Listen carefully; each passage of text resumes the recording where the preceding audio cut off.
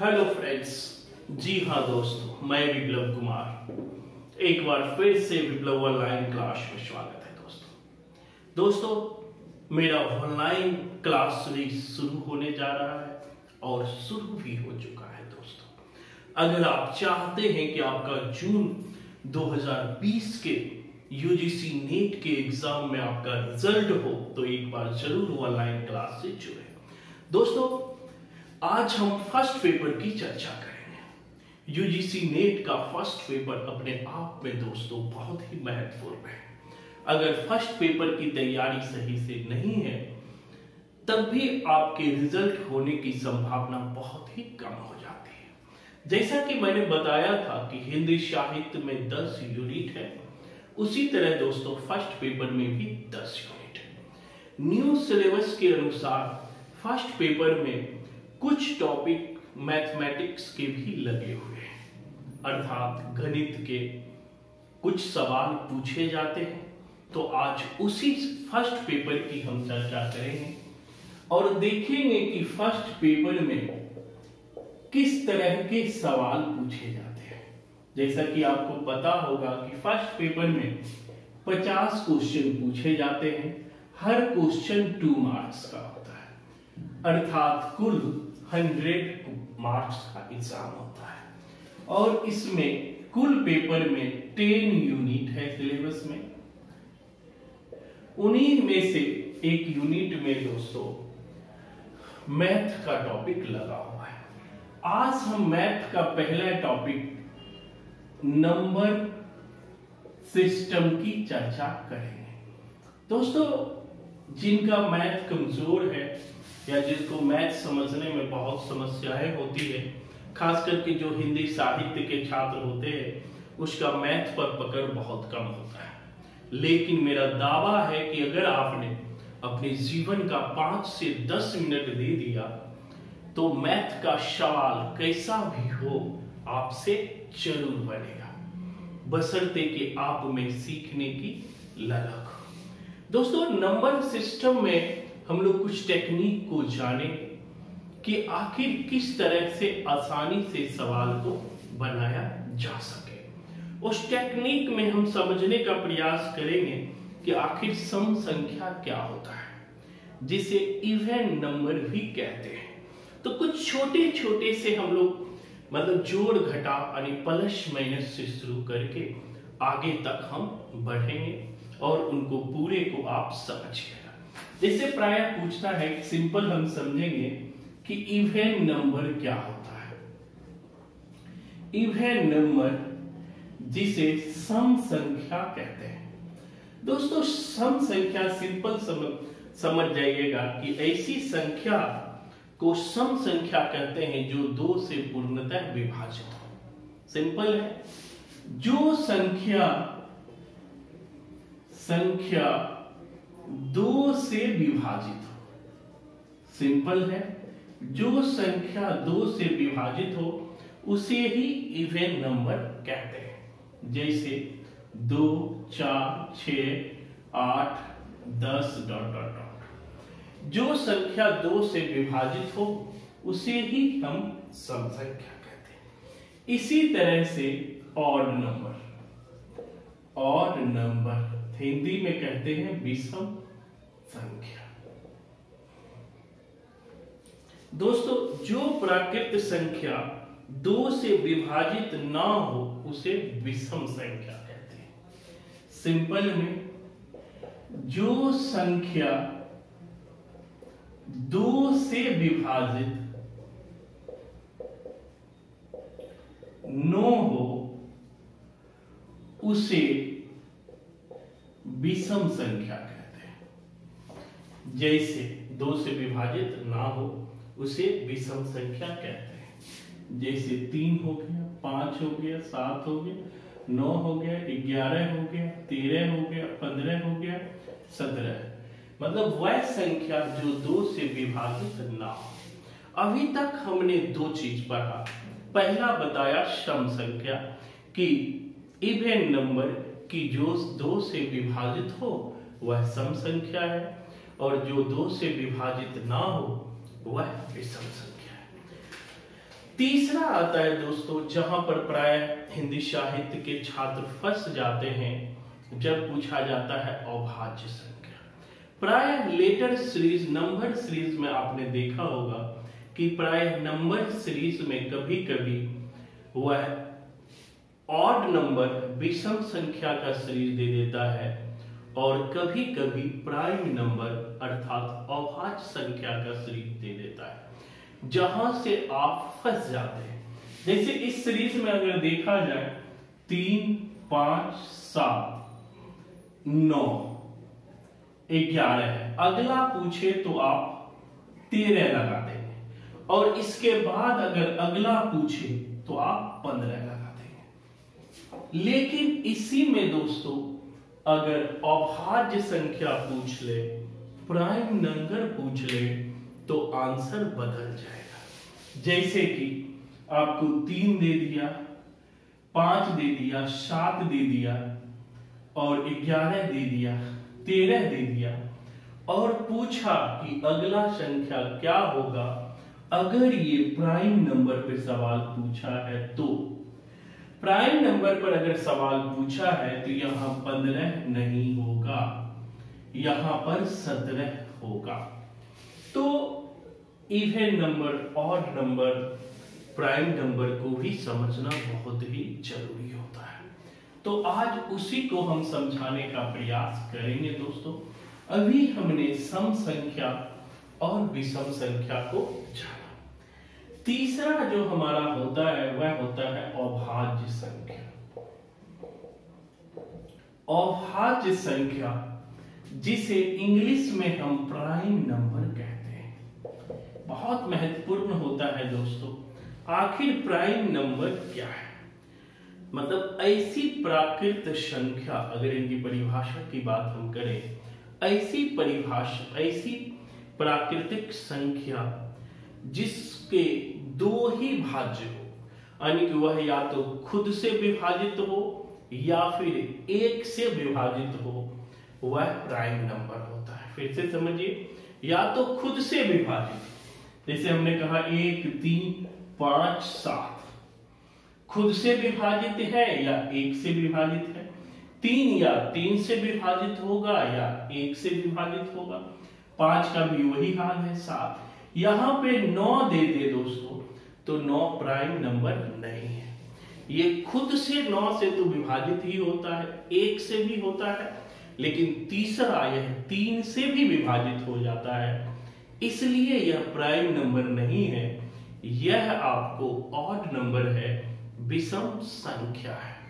इनको आप समझिएगा क्योंकि प्राइम नंबर होता है कि जो खुद से विभाजित होता है या फिर एक से विभाजित होता है, यहाँ नौ नहीं होगा, ग्यारह होगा, फिर तेरह होगा, फिर पंद्रह नहीं होगा, सत्रह होगा, फिर उन्नीस होगा। इक्कीस फिर नहीं होगा, क्योंकि ये सात से तीन से भी विभाजित होता है तो हमारा तेईस हो जाएगा। इस तरह से प्राइम नंबर चलता है।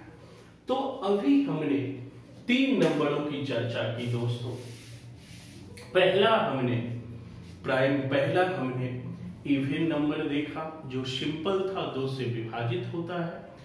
दूसरा हमने ऑड नंबर देखा, जो दो से विभाजित नहीं होता है। और तीसरा हमने प्राइम नंबर देखा, जो खुद से और एक से विभाजित होता है, अन्य किसी से विभाजित नहीं होता है। दोस्तों नंबर सिस्टम को बनाने के कुछ और भी टेक्निक है ये सारे टेक्निक आगे के प्रश्न में आपसे बनाया जाएगा और पूछा जाएगा। कुछ संख्या के विभाजित होने के नियम भी आज हम बताएँगे। दोस्तों, अगर आप ऑनलाइन क्लास से जुड़ते हो तो इसी तरह आसान भाषा में पूरे जो मैथ के सवाल पूछे जाते हैं कंप्यूटर के सवाल पूछे जाते हैं रिसर्च के सवाल पूछे जाते हैं टीचिंग एप्टीट्यूड के सवाल पूछे जाते हैं इन्वायरमेंट के सवाल पूछे जाते हैं। इन सबको आसान भाषा में आपको समझाया जाएगा। जैसे दोस्तों, किसी संख्या के संख्या के विभाजित होने का नियम का नियम। हम देखेंगे कि किसी संख्या के विभाजित होने का आखिर रूल क्या है। आखिर नियम क्या है? पहला हम लोग देखेंगे, दो से विभाजित होने का नियम।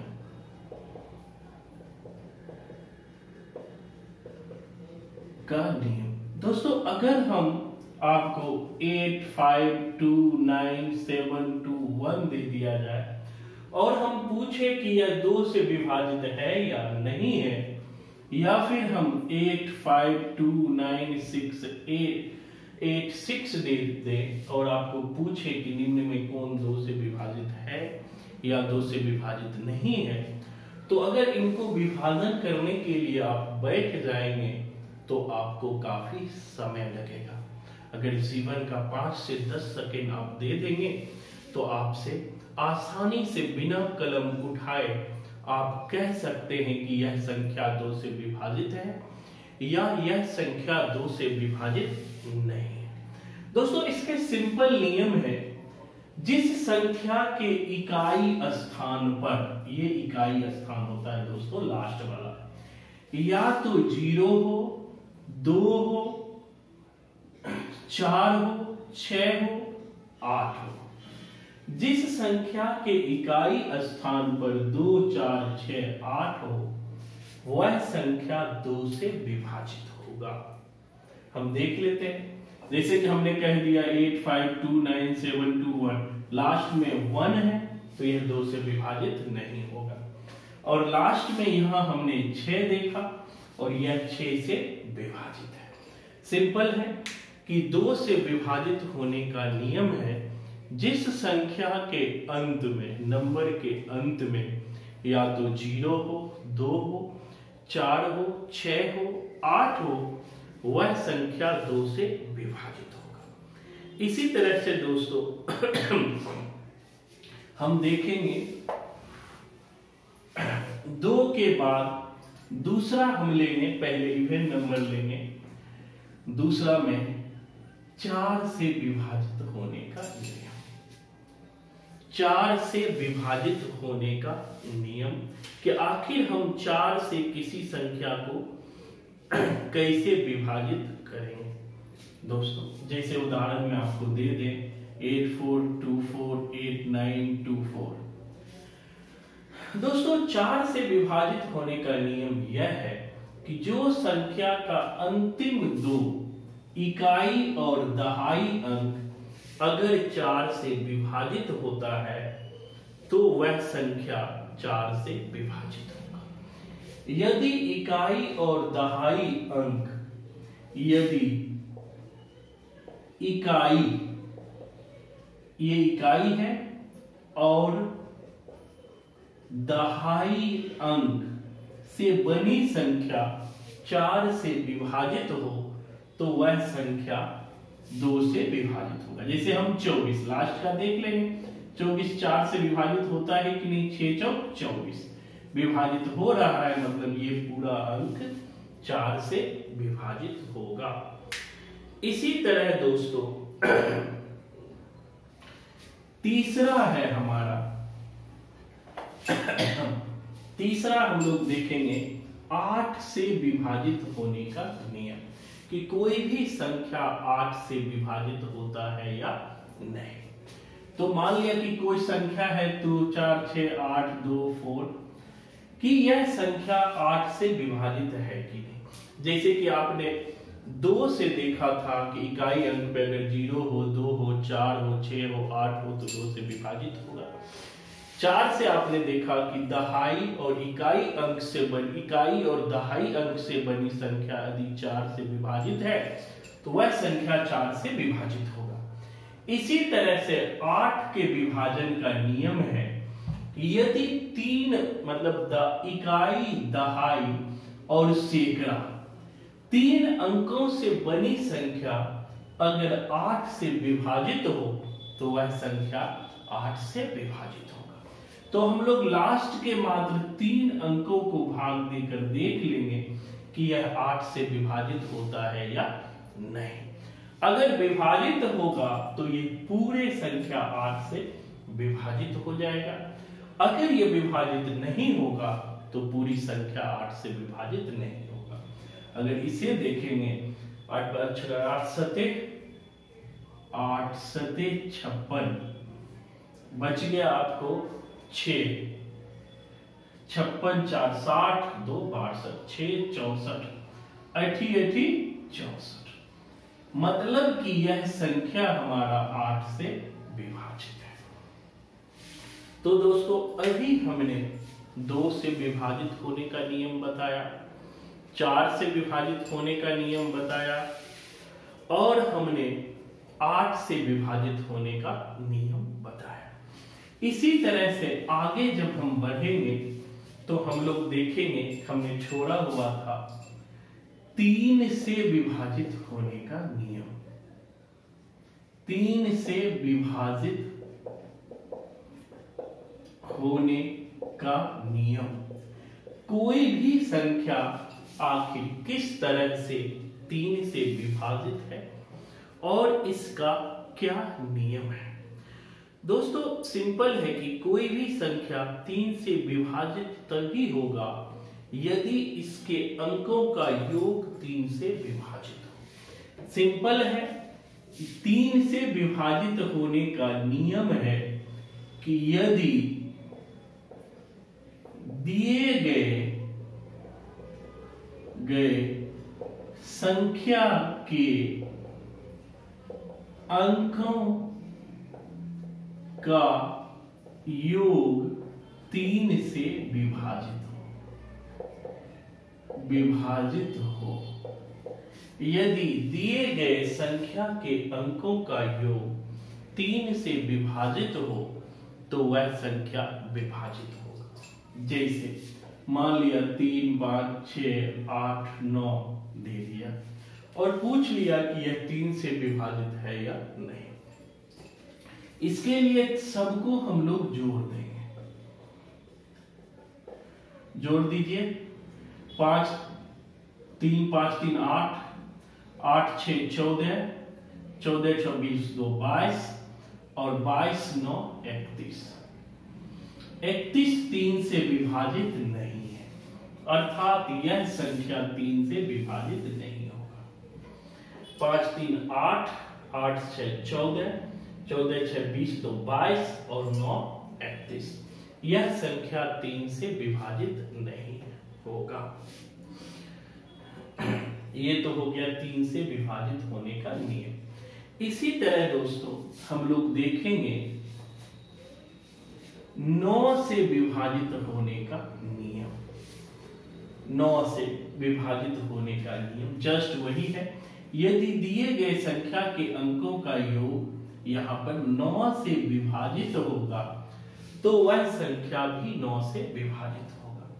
जैसे इसी को हम लोग पूछ सकते हैं, नौ से विभाजित है या नहीं।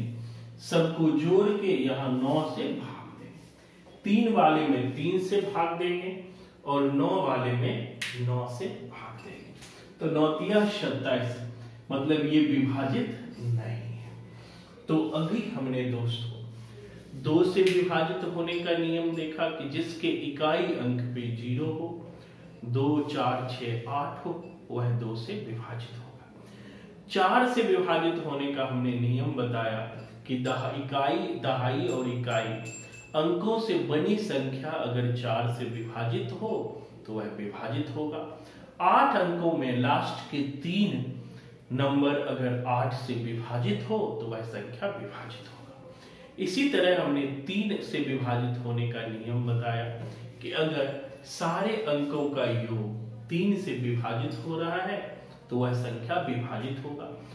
आप टेस्ट कर सकते हैं अपने मन से लिखकर कोई भी संख्या। इसी तरह हमने छ से विभाजित सॉरी नौ से विभाजित होने का नियम बताया। दोस्तों, आगे हम लोग चलते हैं। कुछ और विभाजित होने का नियम आपको बताएँगे।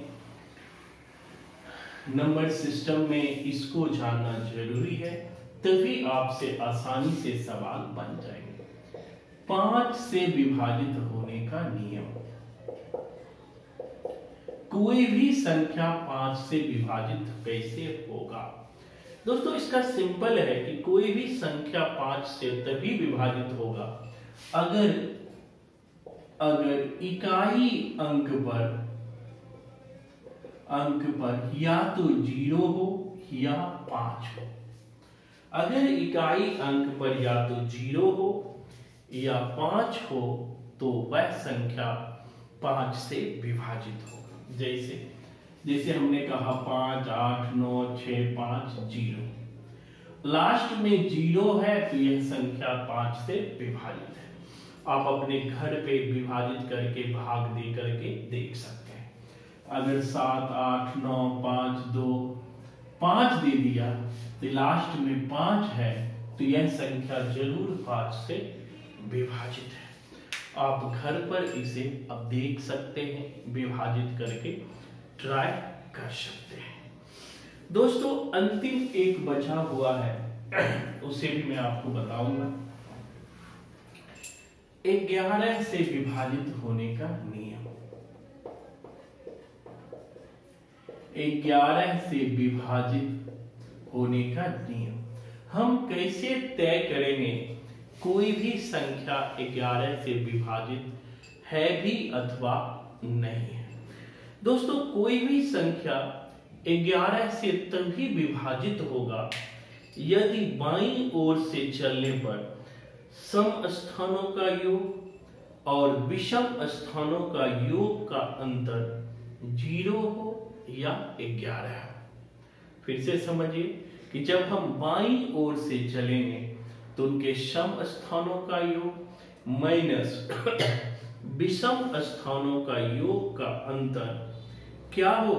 ज़ीरो हो या फिर ग्यारह हो तो वह संख्या ग्यारह से विभाजित होगा।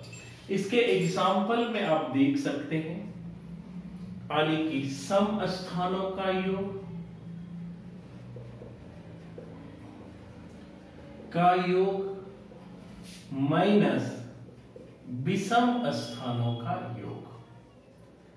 सम स्थानों का योग माइनस विषम स्थानों का योग। इजकल टू या तो ज़ीरो हो या फिर ग्यारह हो। जैसे मान लिया कि हमने one three six one one three six one, zero five two. हमने कहा कि यह ग्यारह से विभाजित है या नहीं तो हम सिंपल ट्रिक के द्वारा बना सकते हैं। इसमें देखिए सम स्थान क्या है। एक एक, दो तो दूसरा सम है। तीन, चार, फिर सम है। पाँच छ सम है। तो सम संख्या का योग तीन प्लस एक प्लस फाइव हो जाएगा। तीन मतलब दूसरे स्थान पर तीन है। चौथे स्थान पर एक है और छठे स्थान पर पाँच है। यानी सम संख्या का योग माइनस विषम संख्या का योग। विषम में एक एक है, तीसरा पांचवा और सातवां। तो मतलब एक हो जाएगा, फिर छ हो जाएगा, विषम स्थान पे है। छ के बाद देखिए, ज़ीरो हो जाएगा और फिर दो अर्थात सम संख्या का योग माइनस विषम संख्या का योग क्या हो? ज़ीरो। दो दीजिए तीन, एक चार प्लस पाँच, नौ माइनस छ, एक सात, दो नौ। यानी नौ माइनस नौ, ज़ीरो। तो यह संख्या ज़ीरो आ गया मतलब कि यह संख्या ग्यारह से विभाजित होगा। अब इसे भाग करके आप देख सकते हैं। तो दोस्तों, अभी हमने कुछ चीज़ों को पढ़ा, जिसमें हमने आपको जो नंबर सिस्टम का बेसिक है, उन बेसिक को समझाने का हमने प्रयास किया, जिसमें हमने बताया कि आखिर इवेन नंबर क्या है ऑड नंबर क्या है प्राइम नंबर क्या है, दो से किसी संख्या को कैसे आसानी से विभाजित कर लेंगे, चार से कैसे करेंगे, आठ से कैसे करेंगे। तीन से कैसे करेंगे? पाँच से कैसे करेंगे? नौ से कैसे करेंगे? और कैसे ग्यारह से करेंगे? दोस्तों, ये कुछ नियम था। और अगले क्लास में हम नंबर सिस्टम के सवाल को आसानी से बनाना सीखेंगे। अगर आप चाहते हैं कि मैथ का एक भी सवाल गलत नहीं हो तो आप ज़रूर ऑनलाइन क्लास से जुड़े। जो स्टूडेंट ऑनलाइन क्लास से जुड़े होंगे, उसको नंबर सिस्टम का अगला क्लास भी मिलेगा और आपको मैथ का सवाल आसानी से समझाते हुए बताऊँगा। अगर आपने पूरी वीडियो देख लिया तो एग्ज़ाम कोई भी हो, जहाँ मैथ के प्रश्न पूछे जाते हैं, आपसे ज़रूर दोस्तों अगर वीडियो पसंद आ जाए तो आप लाइक कीजिए शेयर कीजिए और अपने दोस्तों को बताइए और सब्सक्राइब कीजिए। अगर वीडियो पसंद नहीं आए तो आप डिसलाइक भी कर सकते हैं। Hard work is equal to success होता है। आप जितना समझदारी के साथ दोस्तों मेहनत करेंगे, सफलताएँ उतना ही नज़दीक होगा। कर्म, अपने कर्म पे भरोसा रखें। अपने ईमानदारी पे भरोसा रखिए, विजय आपकी ज़रूर होगी। जो व्यक्ति कर्म नहीं करते, वही अलग अलग व्यू देते हैं कि हमारा रिज़ल्ट नहीं होता। है दोस्तों, मैंने खुद तीन तीन सब्जेक्ट में सीआरएफ किया है। चाहे वो हिंदी हो, चाहे वो हिस्ट्री हो, चाहे वो बुद्धिज्म हो। मैंने अपने कर्म के द्वारा, मेहनत के द्वारा सफलता पाई। और ये सफलता आप भी पा सकते हैं। शर्त बस यही है कि आप में वो पानी की जुनून हो, पानी की ललक हो। जिस दिन आपके अंदर पानी की वो आग लग गई, वो ललक आ गई, आपके हाथ से एग्ज़ाम कोई भी हो रुक नहीं सकता है। तो दोस्तों, धन्यवाद। फिर से नेक्स्ट क्लास में हम जल्दी ही